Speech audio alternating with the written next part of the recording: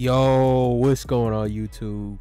It's your boy Kai X Limitless. And we back with another one. We talking about Stefon Diggs, right? Um, the football player.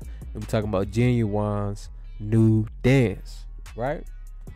So Stefon Diggs, as we just seen, you know, he hit the he hit the new Ginuwine dance move after, you know, his the dance went viral of, you know what I mean, Ginuwine hitting his best Michael Jackson thriller move and you know doing doing the head bob looking like a damn bobblehead you know what I mean um yeah I, if, if I had if I had to say this to Ginuwine man please don't do, please don't do that move again anymore like you know I think that move is um you know what I mean needs to retire right but I think it's funny to you know I think it's funny um it makes a good damn celebration for the football players and you know what? Um, yeah, it might it might be the new viral viral dance. You know, um, they might need to put it in the um TikTok, um, and they need to put it on um Fortnite. You know, as a as an emote.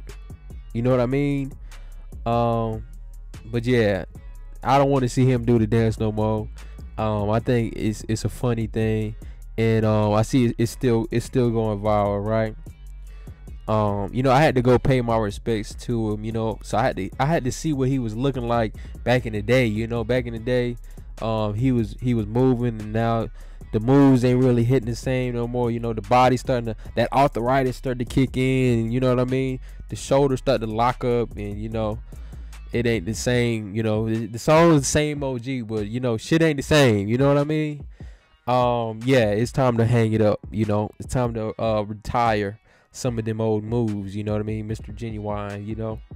But um, yeah, I think I think it's pretty funny, man. So let me know if are y'all gonna be doing the same OG dance? Is that gonna be the, the you know what I mean, the things the kids are gonna do?